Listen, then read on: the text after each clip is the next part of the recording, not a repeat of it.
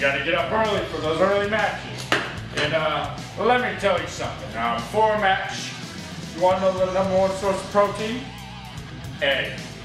So what you want to do is, you don't want to waste time by cooking the thing. So we,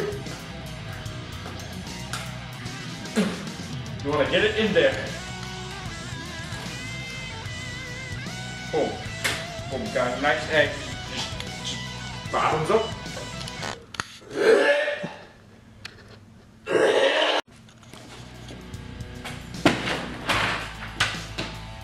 Alright, so um, I've been hearing a lot of talk lately about fake wrestling. You know, the.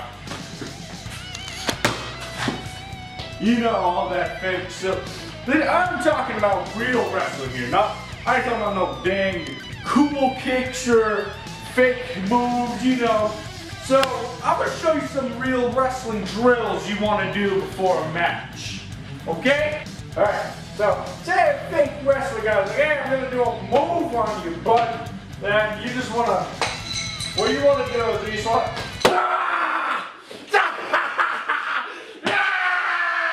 as you can see, I pretty much just murdered him at this point. Um, yeah. If you want to go a little step further, then what you need to do is, what you need to do is, what you need to do is just take this thing a little step further. Um, join me in five seconds.